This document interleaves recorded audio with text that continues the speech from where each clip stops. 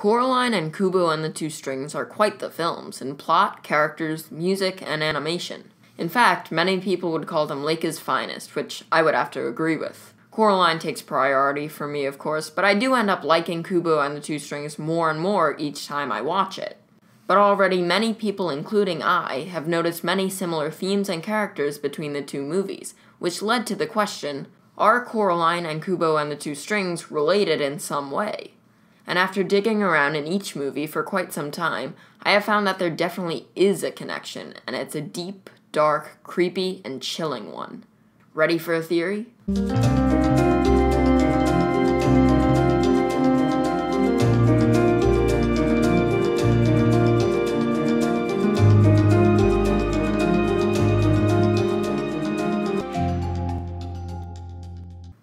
Everyone, it's CTO of the Theory Channel, and a mashup theory like this has been long in the making, but I feel like it's perfect for two movies like these.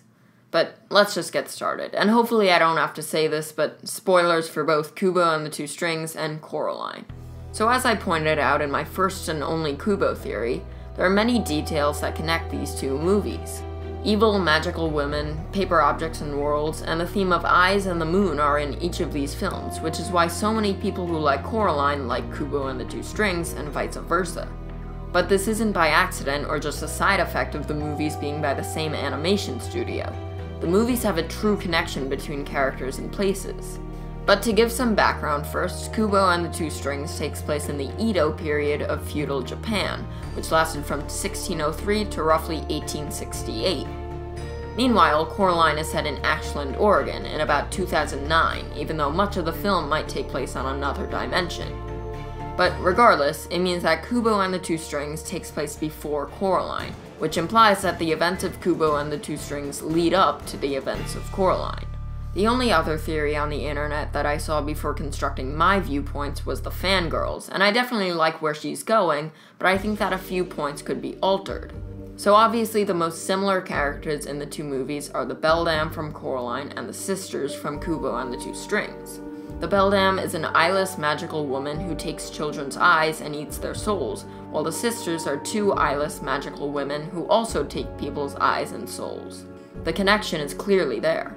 So is it possible that one of the sisters became the Beldam? Well, the sisters both die in Kubo and the Two Strings, or supposedly. The two sisters, Karasu and Washi, perish in different places and at different times. Karasu is killed by Kubo's mother in her monkey form on the ship, while Washi is killed by Kubo at Hanzo's fortress.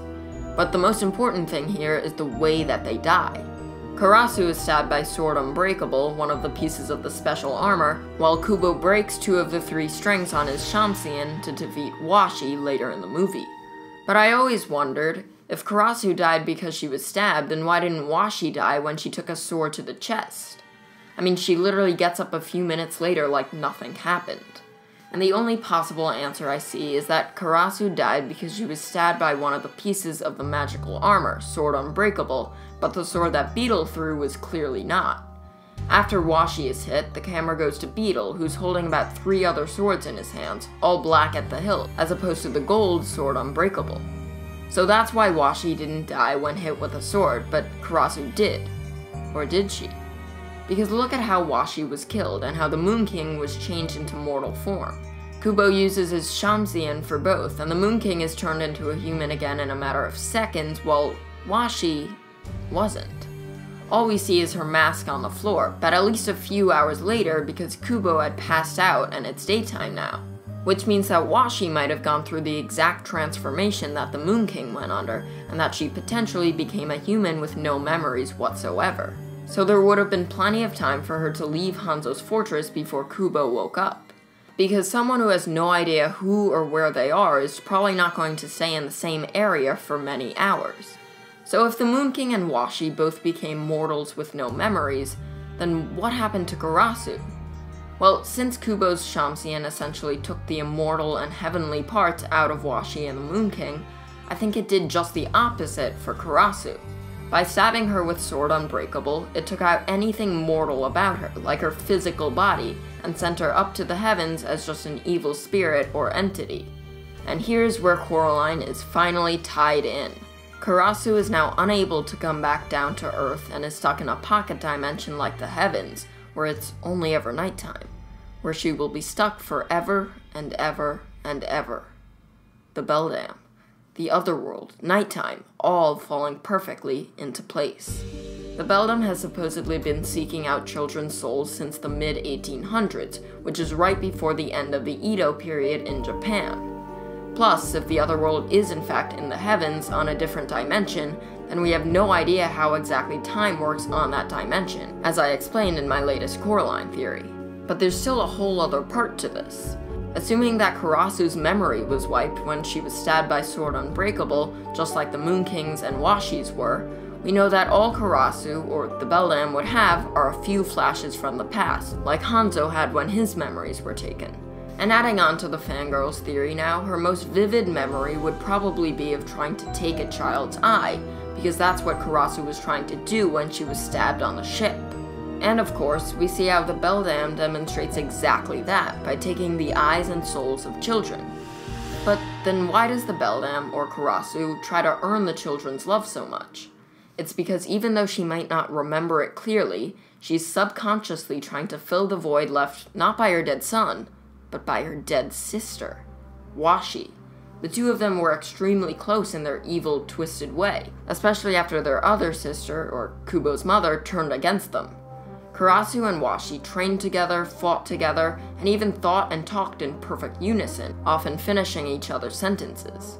But Karasu doesn't remember her sister because her memory was wiped, but she does feel the absence of her along with maybe a few flashes, which is why the Beldam tries so much to get children to love her. Her most vivid memory is of taking eyes from a child like Kubo, which is why she draws in children and takes their eyes, replacing them with buttons, but also gets them to try and love and connect with her like her sister would have. And also, take a look at all of the similarities between Karasu and the Beldam. Both are eyeless, both are evil, both have power, both steal eyes, both only live in darkness, both don't eat human food, and both don't need to sleep. That's seven crucial parallel details. But now to just clarify a few things, I know that this theory basically goes against all of my Coraline theories, as well as other Coraline theories, but it's not really supposed to line up with them. This is really just a possible side theory that connects Coraline and Kubo and the two strings. And as to how the Beldam eventually was able to take a spider like form after becoming an entity, I'm not quite sure, but I'm definitely addressing just the Coraline aspect of it in the coming Coraline Part 4. But what I do think is that this theory has a lot of logical sense and that it's pretty cool and fitting. It's perfect that Karasu became the Beldam, meaning that the Moon King is the Beldam's father, and that the other world is a pocket dimension in the heavens. The only part I don't love is that it still doesn't solve the true origin of the other mother, as we have no idea how the sisters came to be, besides the fact that they're the daughters of the Moon King. But anyway, expect some Studio Ghibli theories coming your way soon, and so yeah, see you then.